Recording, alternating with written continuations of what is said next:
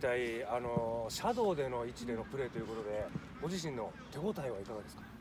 そうですね、まあ、去年、サイドハーフで、えー、だいぶ攻撃的なポジションをやらせてもらってたんで、まあ、それを生かしてしっかりとシャドウのポジションでゴールに向かってプレーできたらなというふうに思いますね。原田選手の沖縄キャンプのテーマを教えてください。はい、テーマ。そうですね。まあでもありきたりだと思いますけど、まあしっかりと体を作って、えー、1シーズン通して戦える体をこの沖縄で作れたらなというふうに思います。ではサポーターの皆さんにメッセージお願いします。はい、お願いします。えー、昨年まあ悔しい思いをしたので、えー、しっかりと、えー、昇格できるように、えー、沖縄キャンプから、えー、頑張っていきたいと思います。引き続き応援よろしくお願いします。はい。はい、ということでちょっと砕けた質問をさせていただきます。はい